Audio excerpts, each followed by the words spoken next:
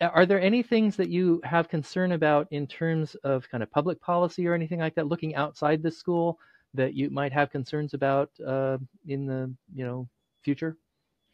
Well, we always kind of keep our we always kind of watch. Oregon enjoys a lot of homeschool freedom mm-hmm. compared to other states. Right. And um, so it's always possible that those will be, you know, taken away or shifted or a little, you know, affected mm-hmm. negatively.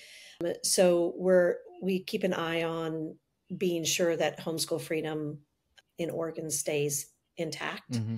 That's mm-hmm. an important one.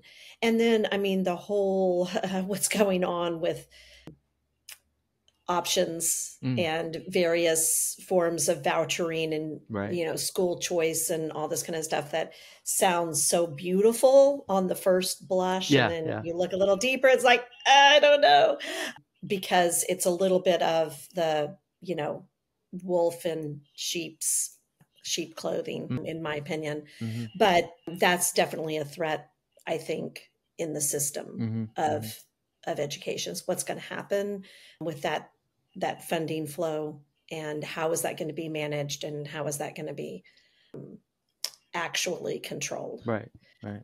And it's that's a little bit worrisome, I think, for education right now. Mm-hmm. There there seems to be a lot of political will around the school choice thing right. that is actually uh, maybe grounded in an agenda to be able to teach whatever you want to teach with public funds. Mm, right. instead of maintaining some kind of you know church and state separation. Right right. So it, it's a little bit it's a little tricky and i think that's going to be an interesting thing to watch over mm-hmm. the next few years. Yeah yeah.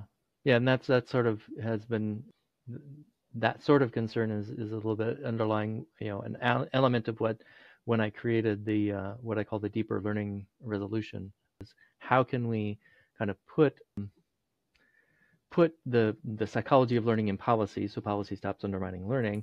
Right. But so that would be an, a way of sort of okay can if we could get a a an explicit acknowledgement of what how psychological needs support underlies all learning, uh, then then that can kind of mitigate against some of the ways that schools tend to exert control rather than support autonomy.